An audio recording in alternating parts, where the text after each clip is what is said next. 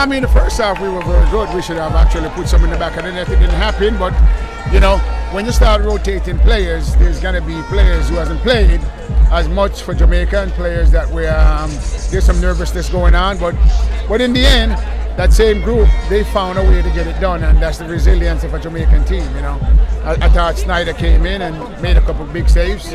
You know, kept us in the game, kept kept us alive which is good, and that's why we put her in there because you know we want everybody to be playing to be ready for the World Cup. Yeah, and I saw Bunny Shaw missing a few chances, uh, unlike her, but That's a, that's the life of a striker. Another day she scored three, so I mean that's the life of a striker. You miss some, who knows, man? Unlucky, that's life. Give their credit, give their keeper credit. She made two excellent save off her. All right. Ra- Ra- Ra- Rachel, Rachel Jones. Rachel Jones came on and made a magnificent impact. Speak to us about her acquisition and her impact on this Jamaican team.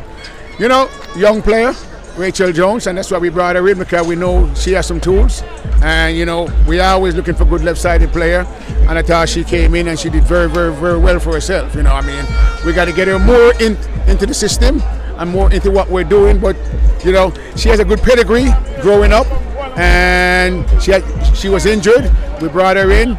You know, we will get her fit, fitter, and then I think she can do some damage. All right, coach. I'm just joining you. um, can it, how satisfied with you are, are you with the objectives that you set for tonight? I mean, you know, you know what? You got to be satisfied to see the players working hard. That's the first satisfaction. Everybody came in. People are cramping because some of the players now again they're not used to the climate, uh, you know. But I'm satisfied that they figure a way how how to get a result, how to get a win. Are you concerned about uh, the number of missed chances that we had, especially in the first half, or is it something that you think your your team can fix? Well, yeah, as we know, football sometimes, you know, you know, some of those chances it could be easily going in, but it's football, and and um, so we missed some in the first half. But no, there's no concern about that.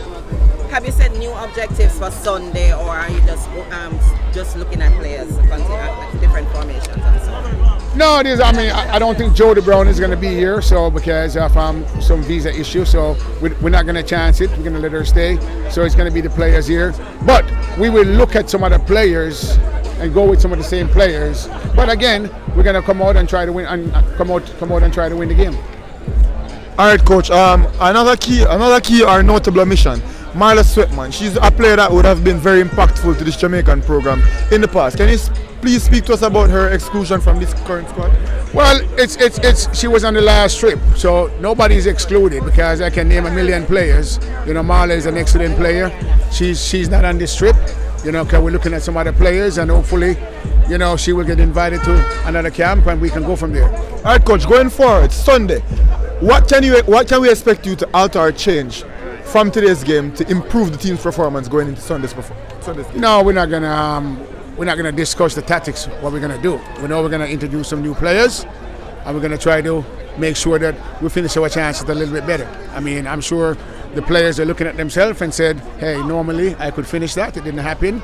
Okay, but also I don't want to take any, anything from from the Paraguay team. You know, they came out the second half and they and they and they played well. You know. Yeah, and lastly, spoke about the Paraguay team. Speak to us about their goalkeeper's performance. In my opinion, woman of the match. Speak to us about how you felt about her performance. That's what I say. That's also that's why we missed the chances because she was she made some saves. So we got to give her credit. You're right.